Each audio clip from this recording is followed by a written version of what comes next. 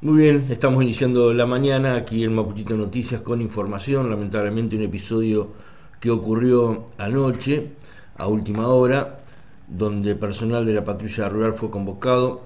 a un campo cercano, ubicado en el cuartel quinto, en el partido de Patagones.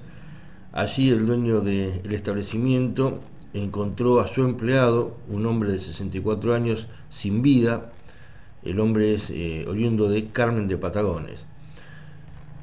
estaba en su campamento residiendo, eh, estaba solo en ese lugar, de acuerdo a la información que hemos podido recoger, eh, mientras hacía tareas rurales. Así trabajó mm, personal de la CPR local, como así también defensa civil, y también se hizo presente, claro está, como es de rigor, de forma, el médico forense y personal de policía científica, quienes realizaron las pericias correspondientes para determinar los causales del deceso, repito, de este hombre de 64 años que estaba solo en un establecimiento rural cumpliendo tareas en un campo aquí en el partido Patagones en la zona de Querencia aproximadamente nos dijeron que era el lugar eh, para tener un poco más de precisiones para aquellos que son de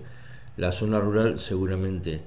deben de rápidamente registrar quién es el propietario del establecimiento. Lo cierto que la persona fue trasladada aquí a Carmen de Patagones y en la mañana de hoy se va a realizar la autopsia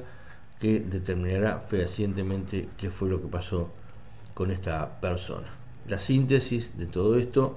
un hombre de 64 años de edad, oriundo de Carmen de Patagones, fue encontrado muerto por el dueño del campo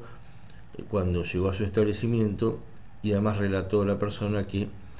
eh, el hombre fallecido estaba cumplimentando tareas rurales en ese establecimiento. Hoy, en horas de la mañana, realizaron la autopsia correspondiente para determinar